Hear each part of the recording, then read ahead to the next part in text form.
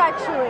Stan Lee and Matt Smith just yes. came up here, yes. said, okay, everybody move. We have a very special photo op. Everybody needs to like, back. And we're standing there like, excuse us? Like, You're moving us away from our, our own stuff. And then he turns around and I see Stan Lee coming in. I'm like, no, no, it's fine. I saw Stanley and then looked up and I'm like, it's Matt Later, I'm like, and then there's Matt Smith right next to him. Yeah, I saw Matt that was first coming down this way. Oh